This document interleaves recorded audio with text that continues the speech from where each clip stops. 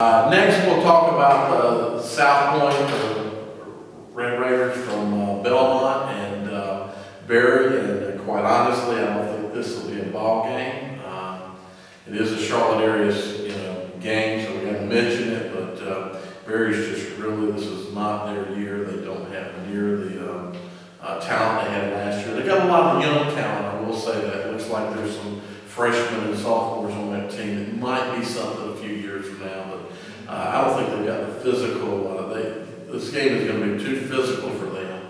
Uh, they, they'll not be able to hang, and this will not be a game at any point in the game, do I think?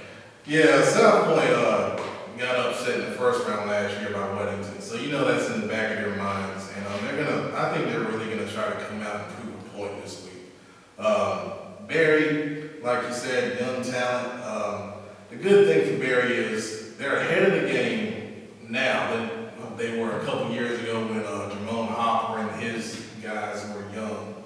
So they're, they're a little ahead of the game there. This will be a nice experience for them to get a little taste of what the playoffs is like to go play at South Point. But uh, I, I'm scared. This this might really get out of hand if you're a uh, Berry fan. I think South Point by, by at least five touchdowns here. Well, South Point's a tough place to play. I haven't been over there before with um, a similar team to what Coach Howard has. Uh, it, it's gonna be tough on him. I give Coach Howard a, a lot of credit for staying over there, and I think he's really in the process of building that program. And that's, that's what you gotta have, especially over there, is, is, is keep somebody there for a long period of time, develop that consistency, and give those players opportunity to grow. So don't see them being successful Friday, but uh, I do think he's got that, that program